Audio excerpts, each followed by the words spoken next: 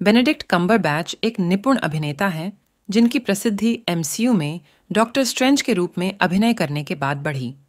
अगर Joaquin Phoenix ने levitation का लबादा पहना होता तो चीज़ें अलग होती। निर्देशक स्कॉट डेरिक्सन ने हाल ही में खुलासा किया है कि फीनिक्स को मार्वल की भूमिका क्यों नहीं मिली। फीनिक्स ने डीसी यूनिवर्स में अपना स्थान पाया और विकृत खलनायक जोकर के रूप में ओनस्कर भी जीता। कथित तौर पर जोकिन फीनिक्स को डॉक्टर स्ट्रेंज की भूमिका के लिए विचार किया जा रहा था, जो अंततः बेनेडिक्ट कम्बर बैच के पास गया।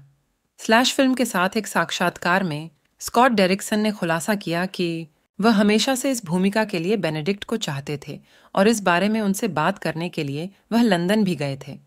लेकिन वह लंदन थिएटर में हेमलेट करने के लिए प्रतिबद्ध थे। वह यात्रा से निराश होकर लौटा